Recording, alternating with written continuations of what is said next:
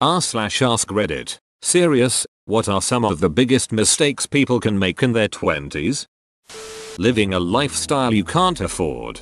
Along with this, not saving money, emergency fund, retirement, etc. Even just a little bit is better than nothing. Saving big chunks like tax returns instead of treating yourself is hella smart. Just ducking coast through life waiting for something to happen. Nobody is gonna walk up to you and hand you a meaning to your life or a fulfilling career. Adding to this, just because you don't know what to do with your life, doesn't mean you should do nothing. Not getting a routine of a healthy lifestyle. When older people say it gets a lot harder when you're older, they mean it. But, you can always start treating your body better at any age. Don't throw in the towel because you're older. Don't make excuses. Make goals. Having children by the wrong person. Having children at all before you're ready emotionally, mentally and financially. Don't waste time being self-conscious. Don't waste time on negative people relationships interpersonal dramas. Use this time for personal development. Get good at things you enjoy. Be friends with people who make you happy. Do interesting shit. Literally no one, ever, has looked back and been pleased that they spent 6 months embroiled in roommate drama. You're not going to, hopefully, be regaling the bar with how that beach Cheryl bleached your towels in 6 years. It doesn't ducking matter. No one has ever been super jazzed that they nitpicked their own appearance for 7 years and consequently couldn't enjoy themselves because they were pulling at their clothing. I'm not talking about self-improvement. I'm talking about being really unhappy with yourself for the sake of being really unhappy with yourself. Stop doing that. You're fine. If your relationship involves screaming, drunk and screaming, the silent treatment, weird subterfuge, or general nastiness, and I could make an endless list of bullshit behavior, leave that relationship. You are going to outgrow friendships. Other people are going to outgrow your friendship. This is normal. It's not an indictment of you as a person. It can be painful. Handle it with grace. And always, think before you react. Always be your own devil's advocate. Think about others. Think about how you sound when dealing with conflict. Being a stable person is partially an acquired skill. Learn it coasting on their potential. It's easy to put off actually doing anything while you're still basking in the glory of being the smart kid at school or university. But then all of a sudden you're 29 and there are celebrities younger than you and you find yourself wondering where to even get started. If you want something, the time to start working towards it is while you're young and hungry. Don't think that there is plenty of time to save for retirement. If it is possible for you to put something away on a regular basis, do it. The best time to start is when you get a job that offers you more pay than what you were getting. Take a percentage of the increase and start savings that right from the beginning.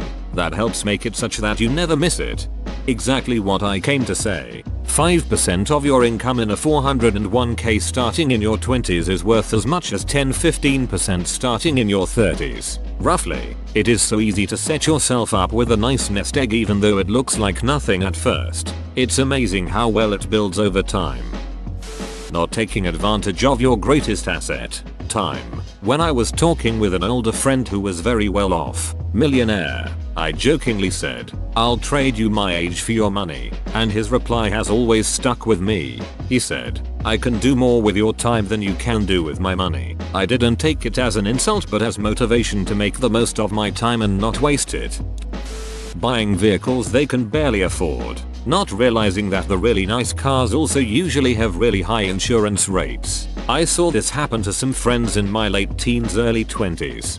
My son is about to graduate HS and then he's off to basic training with the USAF. He's already talking about getting a brand new sports car by the end of this year. WTF. He's on my insurance right now. And I have to explain to him that my insurance went up by $200 per month just for having him on it. And with a shitty car, too. He has no idea what he's in for, but he won't listen to me. So I think this is just gonna be one of those hard lessons he has to learn for himself not taking advantage of the freedoms you have now. Most people in their 20s aren't married or have kids. Enjoy it. Travel. Volunteer. Figure out who you are and what kind of person you want to be as you finish growing up. Don't saddle yourself down with a ton of responsibilities now because you will never be this young, this free, this full of energy, and have this many opportunities to grab life by the balls and enjoy yourself again. Take care of yourself. Your habits now will follow you for a long time. I'm 27 and starting to realize this so I'm trying to turn things around. Less drinking, more salads, less carbs, etc. Also don't waste money on stupid shit. If you're about to buy something stupid just think will I get annoyed at having this in 2 years. Not being interesting. Really, it takes time to be interesting. It takes time to grow a personality and an identity that isn't based off the things you like, or worse, the things you hate, or some preconceived labels. People say, go out, live life, have an adventure, and yeah, that's a way to be interesting. But reading books, writing, painting, cultivating a knowledge base either very specific or very broad those are also ways to be interesting. And what's so important about being interesting? Well, the obvious way is that it's a way to meet people and make them stay. And while you may not need people, it's still nice to have them. But I'd probably say even more important than that is that it gives you a sense of who you are and what you want to do and thus ways to relate to people because you can't be interesting without interests and goals beyond just living to tomorrow and avoiding suffering. Because life isn't just about avoiding suffering, or at least, we all should hope it isn't. And when tragedy inevitably comes, or you find yourself suddenly in a strange new place or alone, in the end, you'll find yourself interesting. Too interesting to give up on, too interesting to throw away. So you know, do something unique. Dare to disagree, explore an inclination, scratch an itch, because in this cynical world, it's dangerous to just be a collection of likes and dislikes, easily moved and swayed because you don't have a place, because you don't have a place you want to be, so be interesting. Forgetting about calling and visiting your parents. Seriously, it may sound weird but when I was in my 20s I was so happy to be out of the house that I made the mistake of disconnecting with my mom and dad. I wish I would have done more having a kid before being in a committed relationship being married and being financially prepared. Friend of a friend had a kid and I feel bad for the little one. The mom more or less is having her mom take care of her while she does drugs. Everyone should wait till they're ready. Maxing out credit cards. Kids witness their parents opening up credit cards at major retail stores, not understanding what it means. Since most teens are inadequately prepared for handling finances fresh out of high school, opening credit cards is just what mom and dad always did.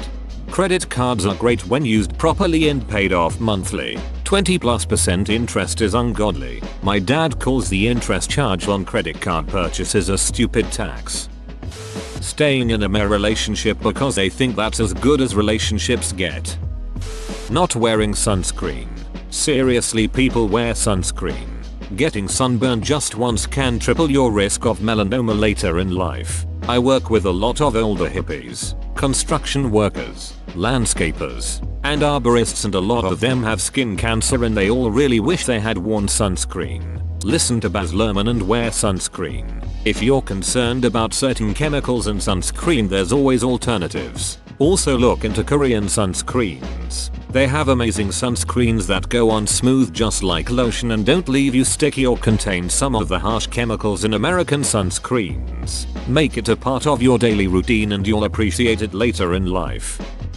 Sacrifice learning for earning. Not saying you have to go to college, but you need to learn a marketable skill in a career that has a future. Working as a server slash bartender or other similar job for easy money is not a viable long term move. I see many 40 year old servers who look 50 and hate life. That being said, if you can start working at a skilled or trade job before you're done with school, do IT. Good, relevant work history will always outweigh a degree or internships. Marrying the wrong person thinking that you either deserve or don't deserve things that happen to you. Not wearing hearing protection in loud situations. The tinnitus is real, man. MAWP. Not having the dedication to save and keep saving. I currently just got out of college and started to get into the rhythm of working after having a dry spell on applying places since December. I'm lucky I had some money to back up those months of not really being employed. Now that I started to get some income in, I'm trying so hard to put away those paychecks and hold on to them for when I want to find a house or for retirement fund. But I'm still in the mindset of if I see something I need it.